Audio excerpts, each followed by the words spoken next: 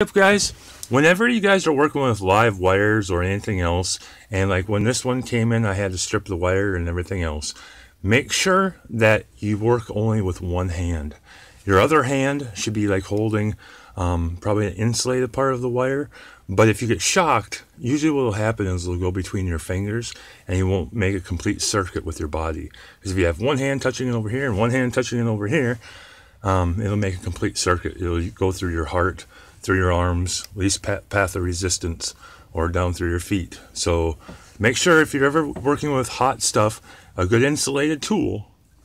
And if you do have to, like with wire nuts or anything else, make sure that you're just um, using one hand to do things. Don't hold one piece of wire over here and one. It's not cool. So in case um, anything zapped you, and if you had a good ground on you, you get zapped pretty hard. Um, but you can work with live wires. Just use some common sense, some good tools, and everything will be okay. Thanks, guys, for watching. Have a good day.